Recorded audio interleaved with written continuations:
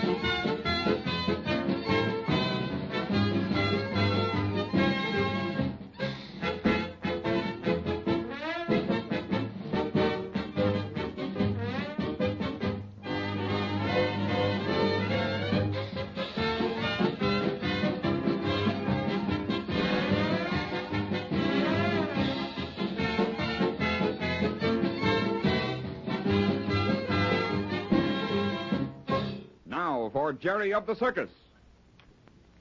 He sure is a beaut, Mr. Rogers. You bet he is, Jerry. Open the door, Tom. We'll bring him out so you can get a good look at him. Okay. Hello there, Blaze. Say, you are pretty. Untie him, Tom, and lead him out. He's as gentle as a lamb. I can't see why folks make fun of a nice horse like Blaze. He looks just like any racehorse I've ever seen. And he's just as good as any racehorse you ever saw. Here we come. The only trouble with Blaze is he's got a reputation to live down. What do you mean, Mr. Rogers? Oh, the fact that he was with the fire department. Well, I don't see why that's so bad. Fire horses have to be fast. I'll say they do. And I'll bet Blaze is as fast as any of them. Just look at his long legs. Long and powerful, Jerry. You should see him break. Well, what do you mean by that, Dad? I mean, break away. Get started. When he starts to go, he goes right now. That's extra good in racing, isn't it? You bet it is. Well, that way you can get out in front of the rest of the horses and get a head start. You're right that time, Tom. My dad and I used to take care of some racehorses out west a couple of years ago. Oh, is that so? Uh huh. Then you must know something about them. No, I was littler then, and I didn't pay much attention to them, but I sure liked them. They were just like children, That's a pretty fair way to explain them, Jerry. more like babies sometimes. How true. A good racehorse is sensitive, all right. You have to handle them with care and pamper them if you want to get the best out of them. Is Blaze sensitive, Dad? You bet he is, just like Jerry said. Sometimes he acts just like a baby. Well, how do you mean? Oh, sometimes he refuses to eat, and then again he'll stir around when I'm trying to brush him down, and, well, just act up in general. But why do they do that? Oh, for many reasons, Jerry. They're intelligent, these racehorses, and they're even fussy about the way you talk to them. There's times when you don't know exactly why they act up, but they've got a reason for it, and it might be that you said one word a little cross to them. Really? Sure thing. You have to be very careful with them. Well, Blaze, old fella, we'll just talk real nice to you. Yes, we will. Nice, Blaze. He's a nice old horse. Yes, he is. Maybe you better not call him old, Jerry. he might be sensitive about his age, huh, Tom? you can't tell. How old is he, Mr. Rogers? Eight years. That's not old. Well, it is for a racehorse. But there's lots of horses eight years old that are racing. Yes, that's true, Jerry. Some of them last a good long time and keep up their speed. Well, how old are all the other racehorses in the bra- in the big race? Oh, they're all ages, son. The big handicap race is for four-year-olds and upwards. And are most of them around four? That's right. There's a couple around six years old, but Blaze is the oldest in the race with eight long years to his credit. Well, do you want me to just stand here and hold him? Yes, if you don't mind, Tom. Oh, I don't mind. In fact, I like it. It's good for him to stand out here in this morning sun and get good and warm before I take that blanket off him. Aren't you going to feed him? No, not until after his workout. You couldn't run him just after he ate. Well, you're going to let him work up an appetite for breakfast, huh? Well, that's one way of putting it, but no matter how big his appetite, he won't get much breakfast. Why not? Because his big race is tomorrow, and I don't want Blaze to be putting on any extra weight. That's one thing I have to watch very carefully. Can't overfeed him. Maybe he knows we're talking about something to eat. Maybe. Hmm, it's funny Warren isn't here yet. Warren. Who's he, Mr. Rogers? That's the jockey that's going to ride Blaze. Oh, and he's going to give him his workout this morning, huh? Yes, he should have been here ten minutes ago. You said he was a good jockey, didn't you? Yes, one of the best. I was lucky to be able to get him to ride Blaze. Is is he a regular jockey or just somebody from around Fordham? Oh, no, he's a regular jockey, Tom. He's famous. He rode at all the big racetracks at some time or other. Yes, sir, I'm very fortunate in getting him. In fact, without him, I don't think Blaze would have a chance. Why not? Well, Warren seems to know the horse and all his little whims. He knows just when to hold him down and when to let him out and how to talk to him and all that. Oh, I see what you mean. Here, let me take that blanket off. There, you're warm enough now, aren't you, boy? Uh, want me to put it in the stable? No, never mind, Tom. Just lay it over there on the bench. Gee, Blaze is sure pretty, all right. Yes, you can see more of him now with the blanket off, can't you? I'll say.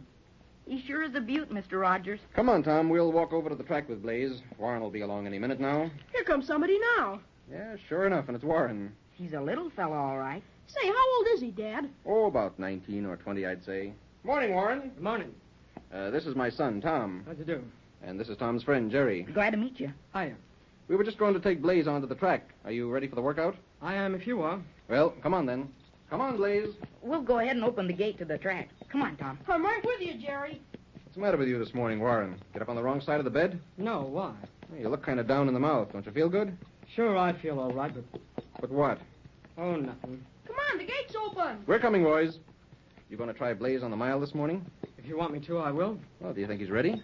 If he's not now, he never will be. Whoa, whoa, Blaze. Whoa, boy. You know, Tom, Blaze acts just like he knows he's going to run a race. Notice the way he shakes his head? Uh huh. Well, that's 'cause he's so spirited. Well, he's all yours, Warren. Okay, I'll trot him around until I get him warmed up. All right, Blaze. Let's go. Take it easy now. I haven't seen all the rest of the horses yet, but I'll just bet there aren't any better looking than Blaze. Oh, that's a matter of opinion, Jerry, but I'm inclined to think the same as you. Just look at that form. He's a pretty animal, all right. How long will Warren trot him around before he tries him out for speed? Oh, just long enough to get him limbered up and warm. There sure is a lot to train in racehorses, isn't there? You bet there is. More to it than I ever figured. Well, I'll bet it doesn't seem like work, though. No, that's true, son. But it's all very fascinating. Here he comes back. And look, he, he's just itching to run. Warren sure is holding him back. Yeah. Looks like he's raring to go, Warren. He's all set. You ready to clock him? Yes, I'm all ready, Warren. I'll take him up to the line and come on, Blaze. Say, uh, how do you time him, Mr. Rogers? Well, I time him with this stopwatch I have in my hand. Now, look, you boys had better stand back off the track. Well, how does it work? Well, just as Blaze gets in front of us, I start timing him with the watch. Once around the track is one mile. Oh, here he comes now. Go! Look at him go. You're sure right, Mr. Rogers. He sure gets away quick. Yes, he sure does. See? Look. Notice the way he gets right over to the rail? He sure does. Say, he's making good time. Let's see if I can get his time at the quarter now. I- Is that the quarter mile post he's coming to now? Yes, that's it, Jerry. Now, wait, wait. Let me watch this close. He just passed it. 25 seconds flat. Say, that's really wonderful. That's the best time he's made yet for the quarter. Gosh, now, if he can only hold that speed. How long will it take him to run the mile if he does? Well, let's see. That'd be uh, a minute and 40 seconds. Say, that'd be just about perfect. Well, what do some of the other horses run the mile in? Well, the best time so far is a minute and 46 seconds. Then it looks like Blaze will do better than that. Oh, we can't tell yet, Jerry. He may tire when he gets to the stretch. You mean just before the finish? Yes, just before he crosses the finish line. There he goes past the half mile post. Let's see. 52. That means he did the second quarter in 27 seconds. Oh, gee, he's slowing down already. No, not necessarily, Tom. Warren may be holding him back until he gets around the backstretch and starts for home. Then he may let him out and make up a few seconds. Boy, he sure runs pretty. Well, looks almost like he's flying. Now he's rounding the back turn. Just look at him go. Yes, he looks mighty fast today. Now, watch him close, boys. Watch him. He's coming down the stretch. Say, that's funny. What's funny, Mr. Rogers? Warren doesn't seem to be letting him out. He should burst out with a lot of speed right now. Come on, Blaze. Come on, Blaze. What's the matter with him? Is something wrong? Well, here he is coming down the stretch and no more speed than he had when he rounded that far turn. Come on, Blaze. Here he comes, Dad. Now he's going a lot faster, see? Yes, but it's too late now. He's about to cross the wire. Come on, Blaze! Well, that's that. Well, what was the time, Dad? Not as good as I expected, son. Well, how long did he take?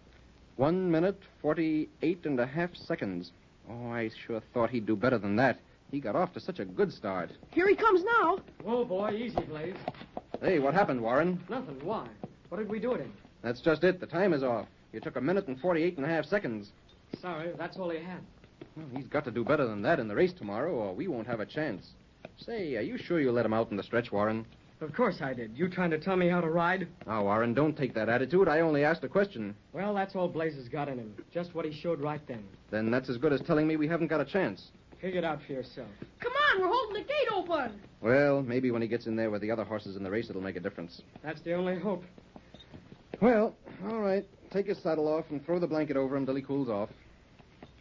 Okay, Say- close that door after me, somebody. Yeah, I will. What's the matter, Dad?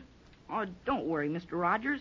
Oh, maybe Blaze will surprise everybody tomorrow. Well, I certainly hope so, Jerry. We've got to win that race tomorrow. It means everything to me and to Tom, too.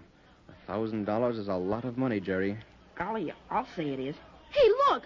Look, there's a fire down there at that lunch stand. Wow, and that is a fire. Come on, let's see if we can be of any help. Hey, Warren, hurry up. There's a fire in that lunch stand over by the entrance. Let's get over there. Be right with you. Come on, Tom.